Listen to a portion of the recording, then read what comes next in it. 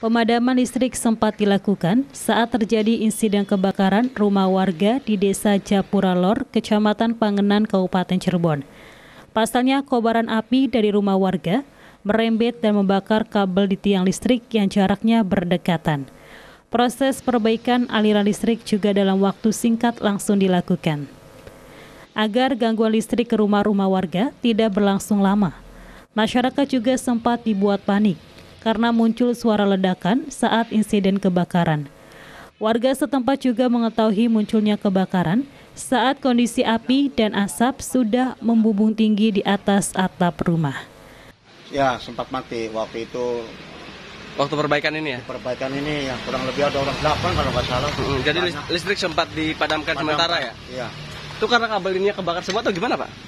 Yang jelas ini pokoknya kebakar lah, ini putus nih, lepas semua nih kabel ini. Tuh ini juga masih ada yang tersisa nih. Iya, jadi ya, diganti yang baru lagi. Jadi sementara tadi pemadaman dilakukan ya? pemadaman, ya? Iya, betul. Sementara meski sempat dilakukan pemadaman aliran listrik, namun saat ini aliran listrik ke rumah warga sudah kembali normal. Setelah petugas PLN melakukan perbaikan dengan mengganti kabel yang terputus akibat terbakar. Muhammad Solihin, RCTV Cirebon.